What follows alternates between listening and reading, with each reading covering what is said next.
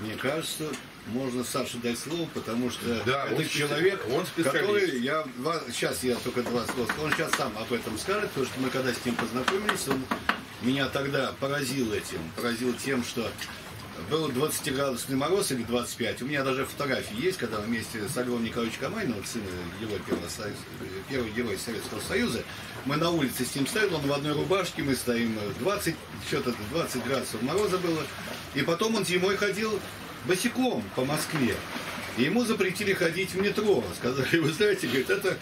Ну вот, Сашенька, расскажи об этом. Ты же, ты же это Э, прошел. Девять зим в одной Ну, рубашке интересно, ходил. да. В А одной метро рубашке только ходил, три да. дня. Зимой. И никто да. мне не запрещал. Зимой никто не запрещал. А что я, я, я не пьяный, никого не царапаю, не кусаю, поэтому э, полиция, эта, тогда милиция была нормально к этому относилась. Очень хорошо сказал герой Советского Союза Покрышкин. А Он же физически сильно развит был, а если бы я не был развит, я не выдержал бы столько стольких боев, я бы не сбил бы столько вражеских самолетов, если я был хиляк. А еще один известный человек говорил, каждый день не уклоняйтесь от физзарядки, никаких уступок себе. Каждое упражнение проделываете по 10 раз. Это очень важно. Это сказал Ульянов Ленин. Вот и все. От Ленина надо хорошее брать. И Если бы он слабый был, он бы не сделал бы ничего. У нас Ну, интересная читал- вообще беседа, очень, очень, очень я, интересная. я даже читал Женевское озеро, э, снег, град, и он там плывет. А Крупской подошли, мужик-то потонет. Она говорит, этому ничего не будет, он закален. Вот и все. Ты, А если в хиляк в очках слушай, я, он я, я это... Нет, я дедушку Ленина уважаю, Да. но этого я не Много хорошего говорят. Веселого много. Да. Так подожди, мы- Саш, да. мы хотели развернутых все-таки, так, вот тема затронута, а ты специалист по, как тебе сказать, и, именно По эзотерическим. Да, по, по, по- эзотерическим. по эзотерике. По эзотерике, да, по эзотерике. Взгляд внутрь себя, эзотерика, да. Да, взгляд внутрь себя, правильно. Нам правильно. самое ценное природа дает бесплатно. Травы бесплатно, воздух, пранаяма, она, слушай, вода она, бесплатно. она такая щедрая. Так, Да. Возьми меня. Вот ягодка, Триан- смотри, я красивый. Вот гриб, посмотри, я какой красивый. Вот что тебе надо? Травка, это тебе от желудка, так, это от головы, это, это, это для того. Так. Все есть, так, вот возьми эту травку. Все, так вот.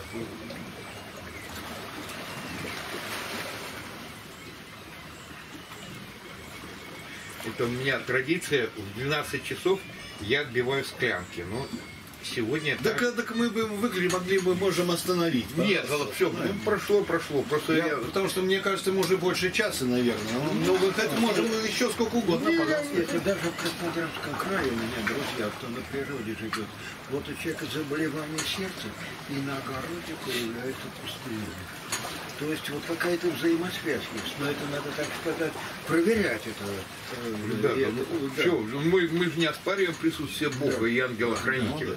Ну, Слушай, он, он же тоже за нами наблюдает. Мы же тоже- тут единое целое. Да, и тоже нам помогает. Так вот, действительно, так вот. Заболело сердце, пустырник вырос, так вот. Ну, чем могу, тем помогу, так вот. А если мы будем неправильно себя вести, э, земля-то она живая, она встряхнется и все. И земля это это сколько раз будет? Да, и Земля это единый организм, взаимосвязанные это пищевые цепочки, где, в принципе, вот, ну, все вот так вот. Ну, и мы, когда уходим так вот в Землю, так вот, тоже продолжаем эту пищевую цепочку, разлагаемся и, и, и рождается новая жизнь, ну, на Но- наших костях. Но сфера Вернадского, это еще давно было, еще до войны Вернадский писал, что весь эта земля, это единый организм, Единый который организм. взаимосвязаны, взаимосвязаны все между собой. Да, Вернадский. Ну, полтора года назад я в одном культурном центре был, и ученые читают лекции. Ну, Пора на Маркса летать и на астероид.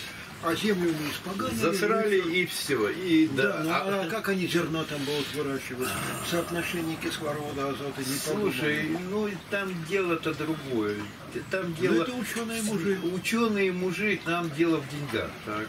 Ну, Одно дело, одно дело так вот, расчистить водоем, так, один, так. И второе дело на эти же деньги, так, вот, построить ракету, улететь куда-то там и все. Это дело деньги, это, слушай, кто, заработает так вот на расчистке водоема, так вот, или... Да. Что, звук где-то? Я что-то говорю. Да? Там кто-то. Привет, путешественники! Удачи вам! Вон они плавают, да. Плывут, Вон сколько много. Поплыли они. Снять, а их, кстати, снимает, наверное, там камера-то, я не знаю, видит она, не видит.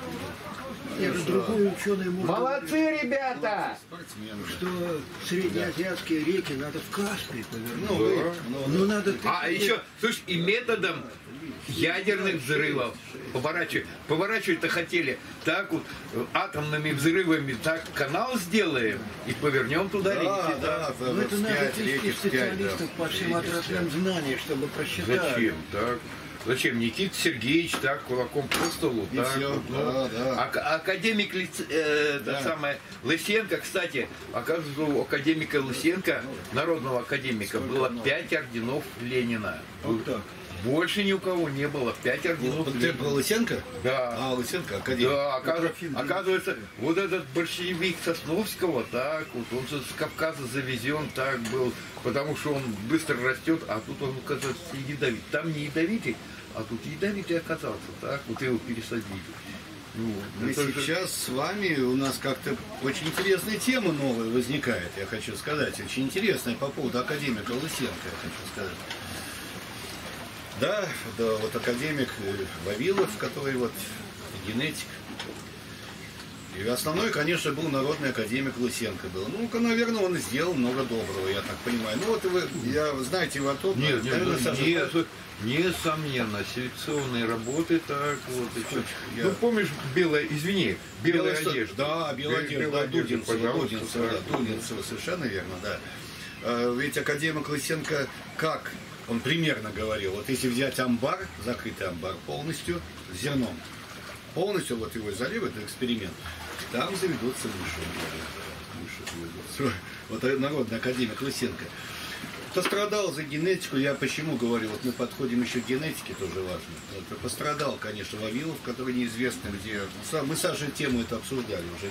Вот нам интересно было генетика. Неизвестно, где могила. Я почему об этом говорю, в развитии, знаешь ты об этом или нет, очень уважаемый человек, это Петр Горяев, который его, похоже, его убили, похоже, его убили недавно, который был, работал, значит, э, ему, кстати, Горяев подарил эту книжку, Вон, у него лежит эта книжка, мы с ним обсуждали это, да. Это, геном. э, это синтез или как? вот, Волновой, Волновой геном. вол- вол- волновой геном, совершенно верно, да. Очень интересная тема для обсуждения, но я ее надо, хотя бы его надо было послушать для того, чтобы иметь там мнение. Я только одно скажу вот про него.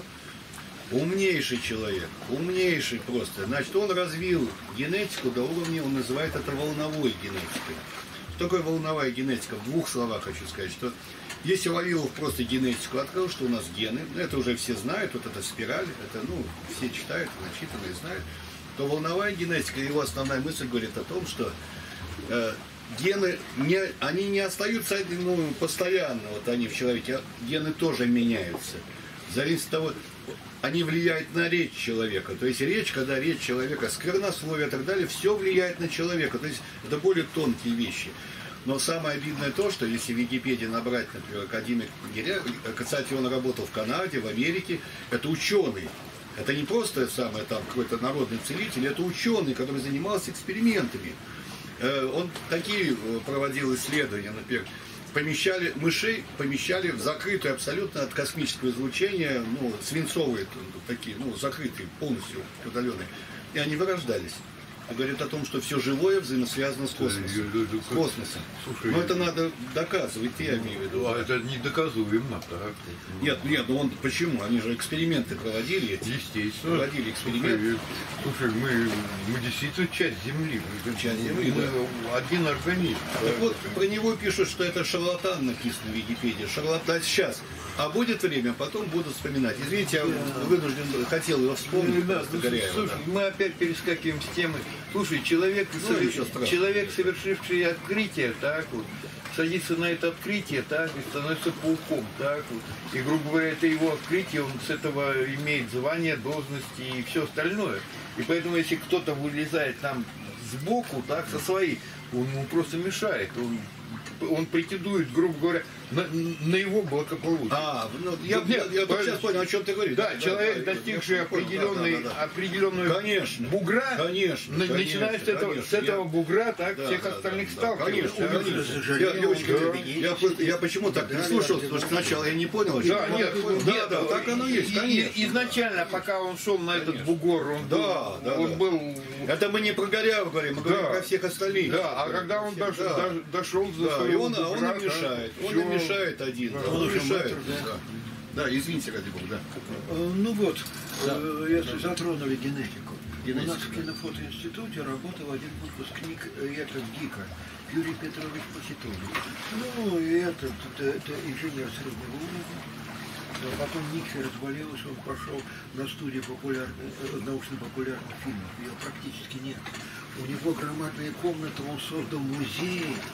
Он мне целую лекцию прочитал, э, какие там исследования проводились. И в том числе там работала такая Елена Саркисовна Саакян. А- Она окончила биофак МГУ, а, а- а потом в ГИК э, режиссерская по, по научно-популярным фильмам. И она а, и об этих репрессированных генетиках снимала фильмы. И я в Тимирязевском музее слушал только э, и видел ее один фильм о генетике Рапопорте. Э, э, Его жена профессор Строева была и так далее. Так вот, Юрий Петрович рассказывал, что она снимала эти фильмы, а директриса ее обманула, денег не заплатила. И Елена Саркисовна от горя скончалась. А родословная у Пахитонова, его прапрадед брал хлебно. И по отцовской линии все родственники, это военные высоких чинах были, а мать цыганка. Даже такое было. А я говорю, как уцелел тут город советской власти, если царские офицеры, там, полковники всякие, генералы были. Ну вот уцелел.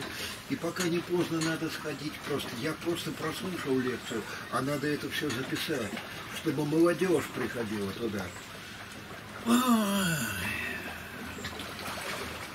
Ну, Ю- Да. Юрочка задумался. Сейчас, сейчас. Ребята,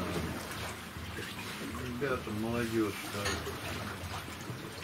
Молодежь. Вот мы с вами говорим, мы думаем о них. О целой индустрии, прежде всего, вот, производство, промышленность, все это.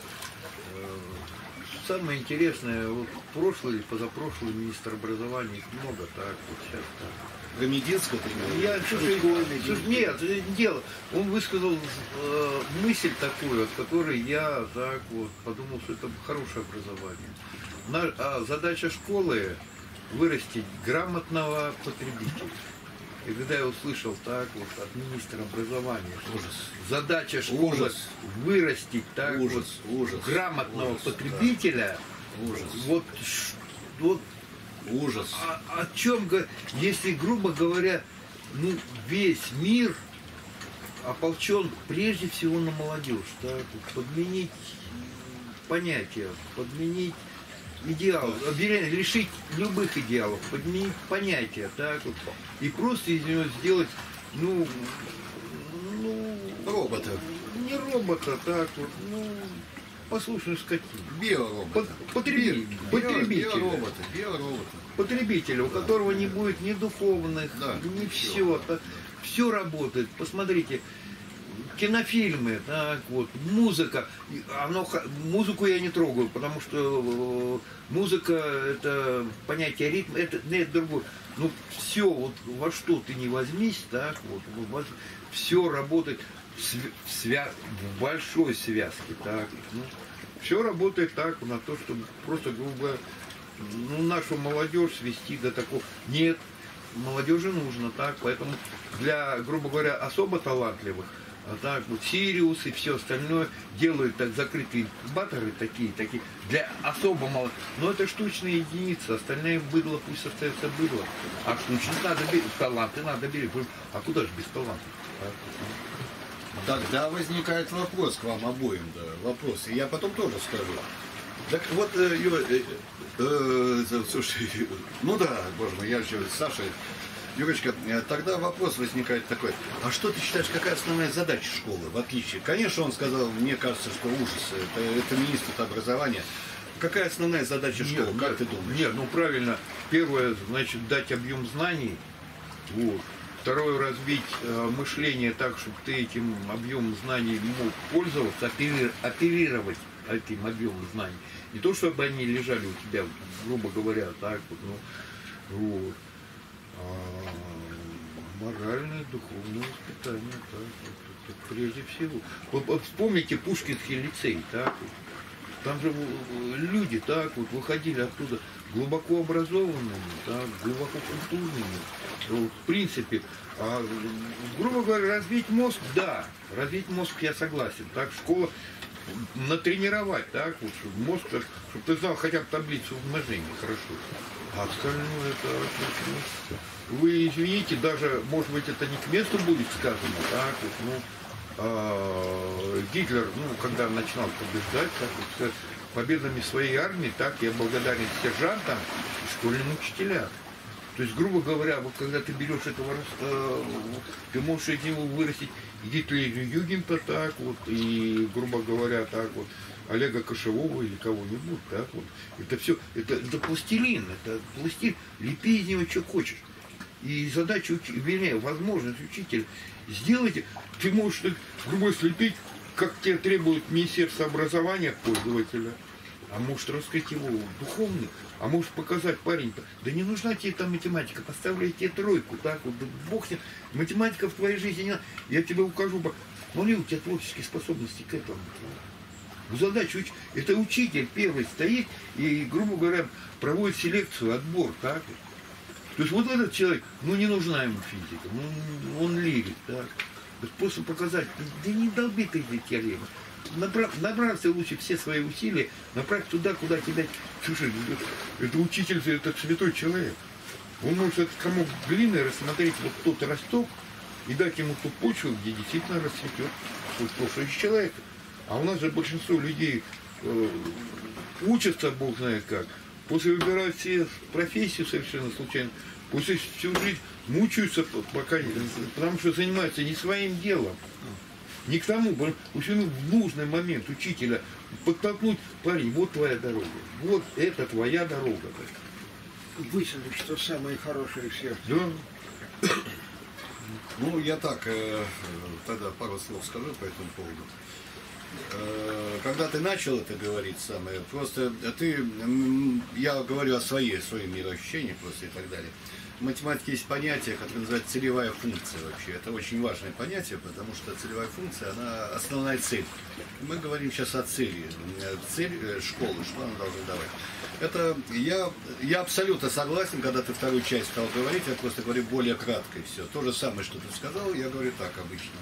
Выявить способности человека, чтобы он работал, чтобы выявить его способность, что ему нравится, чтобы он и, и работал, и жил в своих способностях. Нравится рисование, человек должен этим заниматься.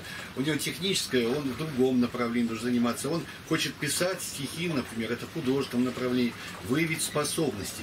И в этом направлении. И не обязательно даже, чтобы это был большой объем знаний. Часто очень знания, конечно, хорошо, вот у нас школа вся высшая, она, в отличие, вы знаете, от любой европейской, американской школы, она имеет универсальный характер. То, что у них более специализировано. Они Э, ну, если кто-то занимается, он очень узко. Я считаю, что это наше достоинство школы высшей вообще-то в России было. Потому что на самом деле надо много знаний давать. Но все-таки выявить знания, чтобы направить человека, чтобы он ушел. Вот я, Саша был удивлен, я спрашиваю, Саша, а ты пошел в кино, тебе же нравилось, когда киноинженер пошел? Ему снимать нравилось? А получилось так в жизни, я снимаю, вот я не киноинженер, а он нет. У меня много, ну извините, я вот несколько слов своих просто сказал. Это на самом деле полностью согласен. Когда ты закончил, вначале вот у меня было, но вот уже четко было сформулировано. Мы идем разными сказал, путями да, к одной вот, цели. Вот, о чем я, я с этого начал. Что мы разными путями идем к одной цели. Да, Сашенька хочет сказать. Да. Да, да. мне нужен только один процент. 99% знаний не нужно оператору комбинированных съемок. Потом, э, вот вчера говорили там дифференциальные уравнения, интегральные исчисления. Это мы с тобой говорили, э, да, на, на следующий год у нас будут детали механизма киноаппаратуры. Там только две-три формы приводятся, остальное... Слушай, я таких, я таких и слов не знаю. Я, я, я, я перебью вас, так? Извините, ребят, личное, да. так? Да, да, Ко мне приехал ну, как я понял, преподаватель э, Петербургского университета, так вот, он каждое лето уходит э, в плавание на байдарке и колесит. э, Я понял. По, не- по- Кочерга там так далее. ну, да, по да. несколько все. Ну, да. И он в это время думает, так вот. А вот у творческих людей ему это все. И вот он приходит ко мне, так вот, ему надо выплеснуть, так вот. И он начинает какие-то формулы, какие-то все, так вот. Ну вот, я говорю, извините, я, а мы со всеми на ты, ну, Ну, нормально, так, на природе. да, да, конечно. Я говорю, извини, я тебя не понимаю. Меня смотрит, молодой человек, ну как студент, молодой человек, ну у вас же высшее образование. Странно, что он это говорит вообще. Нет, да. я я бы тебе никогда это, я наоборот Нет, нет, ну он так, Да, понимаешь, я говорю, не, странно. по- у вас же высшее образование. Странно, странно, Ну, странно. Это я вот говорю- такие профессора пошли, кстати. Не, я говорю, Да, у меня физкультурное образование. Вот именно. Ай, ну человеку поделиться, вот ну, выплеснуть. Так что я таких слов не Ну, знаю. ну, интеллект не Ну, очень у него, я бы никогда так... дворянин. Э, Сашка противоположное говорил, да. Это где-нибудь в армии в царской не 2-3 года послужит и в отставку. И едет в деревню, и крестьян эксплуатирует, морду им бьет. Ну, он дворянин. И здесь то же самое пичкают ненужными знаниями. Я- Сейчас я расскажу одну японскую притчу про образование. Испытание рапира Банзё. У известного э, фехтовальщика э, сын был Матайора Ягва ленивый. Он отказался от своего сына. И сын поехал на гору Футару, там знаменитый фехтовальщик Банзё. Ну, хочу стать хорошим фехтовальщиком. Да ты же ничего не умеешь. Ну, он говорит, ну я всю жизнь хотел стать фехтовальщиком. Можно я твоим преданным слугой буду? Ладно, говорит, а сколько я э, буду учиться? Ну, это э, э, э, остаток всей жизни. Ой, ой, нет, он сказал 30 лет, но он говорит, у меня отец старый, я должен ин- иногда приезжать к нему, помогать ему. И ты, учитель, говоришь, что 10 лет, то 30 лет. А учитель говорит, если кто-то хочет чего-то быстро достичь, как правило, ничего не получается. И, ученик понял Мотайора Ягвы, что его э, это упрекнули в невоздержанности. Ладно, э, хочу быть твоим преданным слугой. Учитель говорит, все, живи, учись меня, но ни слова о фехтовании, не прикасайся к рапире. Год, два, третий год. Ученик подметает, там у него это стол, стелит и застилает постель, обед готовит, моет посуду, с лопатой в огороде работает учителю. Так прошло три года. Он уже стал впадать в депрессию, искусству которому он хотел научиться, э, он так еще и не приступал. Однажды, когда он мыл посуду, учитель подкрался к нему с деревянной рапирой и со всех сил ударил его по спине. Ночью нападал, все время нападал. Ученик э, э, э, все время находился в напряжении. И, и- и учитель, который никогда не смеялся, стал смеяться, и в конце концов Матайору явно стал лучшим фехтовальщиком страны. Вот три года должно пройти. Э, Другая притча. Э, Из провинции приехала невзрачная девушка к одному вельможе. Ну, он говорит, давай мне это камни таскай с огорода. Она положит камень в корзину, песню поет, э, в другую там. Ее били в том числе палкой по голове. Ладно, дадим тебе другую работу, воду таскать. Э, Ведро на голове тащит и песни поет, опять ее били. Наконец вельможа надоело. Он дал ей денег. В столицу написал князю, помоги ей. И она стала э, знаменитой певицей. Вот ее предназначение. Это не камни таскать, а петь. Я люблю притчи Вольтера, очень люблю. Ну, ну ладно, я не об этом И говорю, а в Древнем Китае э, шла не кровопролитная война, между собой воевали, кстати. И очень много денег тратилось на оборону, на музыку тратилось больше.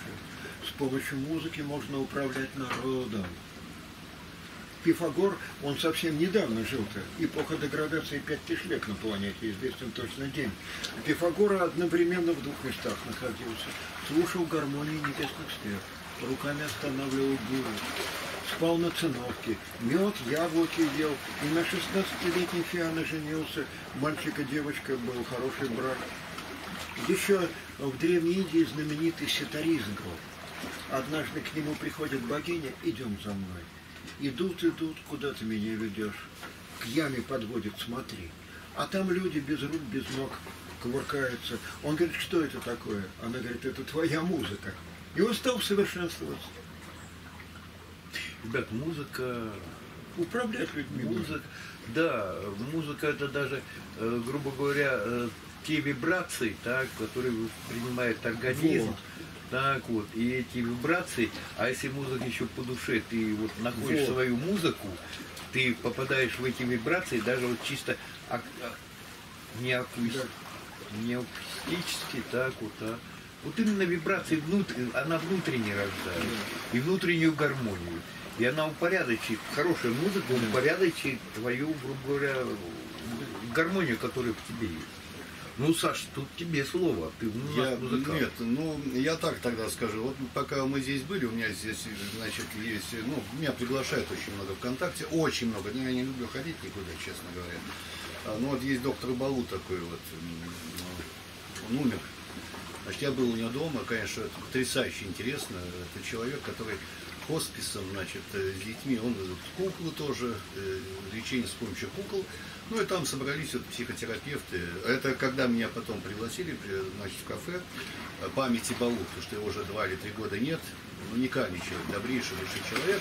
В центре Питера он жил, у него там башенка единственная, которую башенку залезли, весь Питер перед глазами. У него дома рыцарские доспехи, значит, у него ну, просто музей дома, музей дома.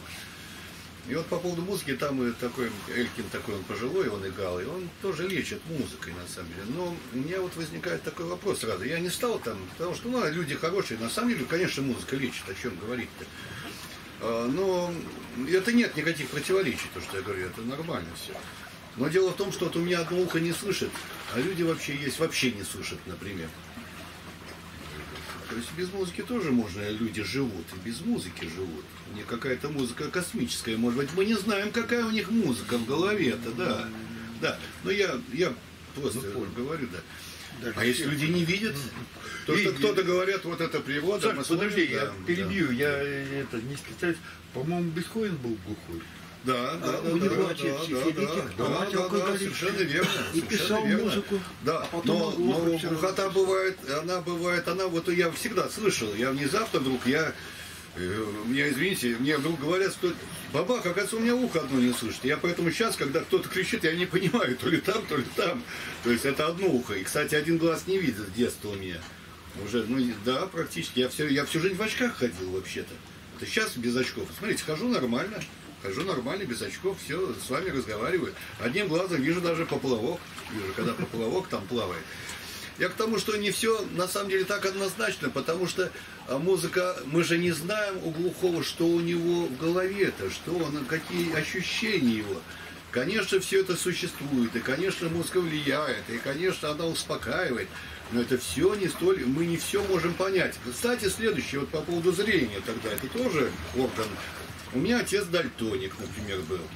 И мы когда ходили, собирали грибы, он э, просто принесет кучу, как, как корзине, кучу грибов разных, и мы половину выбрасывали. Он цвет не, не различает цвет, он не понимает. Гриб же, как уехала, художница она. И вот мы идем, конечно, художник по-другому видит все. У него другой, у него, у него другая цветопередача и все. То есть это не так просто. А кто-то вообще с, детства у него слуха нет, например. Он ходит, у него вообще слуха нет. Потом правильно, кому надо, кто один понимает музыку, другой не понимает. Один ее может создать, другой не может. Есть исполнительское искусство.